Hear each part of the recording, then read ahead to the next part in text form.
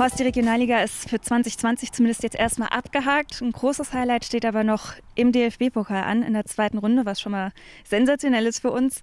Und zwar das Spiel gegen Borussia Mönchengladbach. Das wird natürlich nochmal ein Highlight zum Abschluss, oder?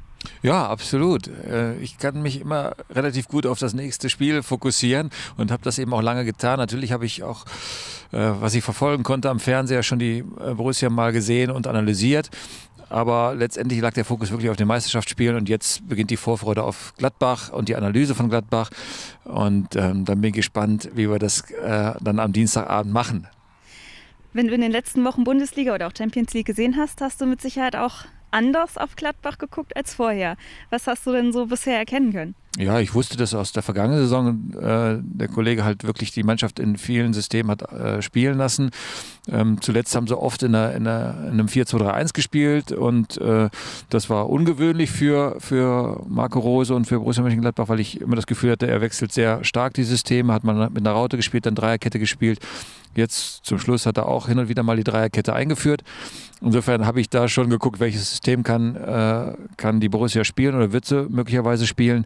Andererseits ähm, Spieler zu analysieren, ähm, ist auch müßig, weil sie einfach einen großen Kader haben und äh, ich nicht genau weiß, wer spielen wird und dann eben auch nicht genau weiß, welches System der Gegner spielen wird.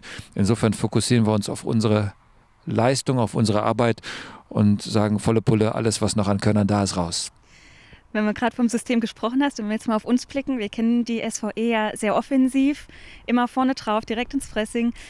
Gegen Bundesligisten, gegen Champions League Achtelfinalisten ist es wahrscheinlich noch mal ein bisschen was anderes. Ja, es ist so, gegen St. Pauli konnten wir es äh, dann noch durchziehen. Aber sicher ist St. Pauli und Borussia Mönchengladbach einfach noch äh, ein Unterschied, ein anderes Kaliber. Und äh, da ich auch viele tiefe Läufe von, von Borussia gesehen habe, dass sie auch darauf Wert legen, ähm, ist klar, dass wir nicht so viel Raum geben dürfen, um, um äh, die Bälle ankommen zu lassen und viele Laufduelle zu haben. Da ist sicherlich auch der ein oder andere Geschwindigkeitsvorteil äh, bei der Borussia. Und deshalb ähm, werden wir unser Spiel bestimmt auch der, den Gegebenheiten und dem Gegner anpassen. Aber wir wollen auch weiterhin mutig sein. Und wenn es Möglichkeiten gibt, ins Pressing zu gehen und gegen Pressing zu spielen, dann tun wir das sicherlich auch. Und wenn es Umschaltmomente gibt, um nach vorne zu äh, sprinten und äh, Angriffe zu fahren, wollen wir das auch tun. Und wenn es Standards gibt, wollen wir da auch mutig reinspringen und unsere Möglichkeiten, äh, Torgefahr zu erzeugen, wollen wir, wollen wir nehmen. Und deshalb bin ich ganz froh und gespannt, wie das Ganze dann aussehen wird. Aber klar ist auf jeden Fall, es wird viel Abwehrarbeit geben. Das ist natürlich jetzt aktuell aber auch gerade so ein kleines bisschen schwierige Situation, auch nach dem Freiburg-Spiel leider nochmal. Gerade in der Abwehr gibt es ein paar Ausfälle. Wie sieht es aktuell aus? Ja, es ist äh, extrem merkwürdig. Äh, die Abwehr soll im Grunde eher verteilen, äh, äh, was die Härte anbelangt und weniger einstecken. Wir haben ähm, jetzt viele Verletzungen in der, in der Kette hinten mit ähm, Maurice Neubauer, der ausfallen wird, mit Fabian Baumgärtel, der höchstwahrscheinlich ausfallen wird. Äh, Robin Fellau jetzt noch dazugekommen, der ausfällt, äh, Laurin von Pischowski, der ausfällt, also vier, die normalerweise in der Viererkette hinten spielen, fallen schon aus. Und ähm, bei Sinan bin ich noch ganz optimistisch, dass es vielleicht funktionieren kann, äh, dass er wieder dazukommt.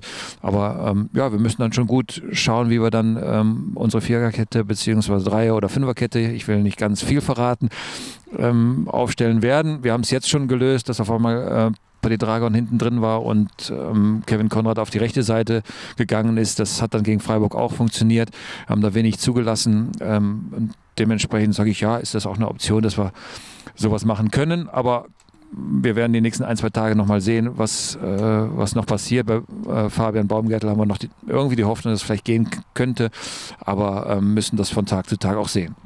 Aber abschließend über allem steht zum Jahresabschluss so ein Highlightspiel nochmal voll genießen. Ja, das ist so. Ich, es ist immer die Meisterschaft im Fokus bei, bei mir. Äh, und, und das ist klar, dass es dann nach Meisterschaftsende für dieses Jahr äh, dann eben erst dann Richtung Pokal geht. Und wichtig ist, dass wir ähm, wirklich in der Meisterschaft äh, unsere Punkte aufholen werden in, in der Zukunft, im Januar da wirklich dann nochmal uns so präsentieren, dass wir wieder Dreier holen. Das ist klar. Trotzdem äh, können wir mit einem 1-1 in Freiburg in Unterzahl dann auch noch leben und einen gu guten äh, mit einem guten Gefühl in die Partie gehen gegen Gladbach, mit einer Vorfreude auf das Spiel, weil wir haben auch einfach die Vergangenheit. Und das war St. Pauli, das war ein super Spiel. Und wenn wir da uns dran erinnern, dann wissen wir, Mensch, wie geil war das? Und äh, dann steigt einfach die Vorfreude auf das letzte Spiel in diesem Jahr. Und ähm, das wollen wir genauso annehmen, wie wir es St. Pauli, gegen St. Pauli angenommen haben. Und ähm, dann hoffe ich, dass es lange, lange äh, ein enges Spiel geben wird, dass wirklich diese Spannung äh, uns nochmal motiviert und die Freude bringt. Danke, Horst. Gerne.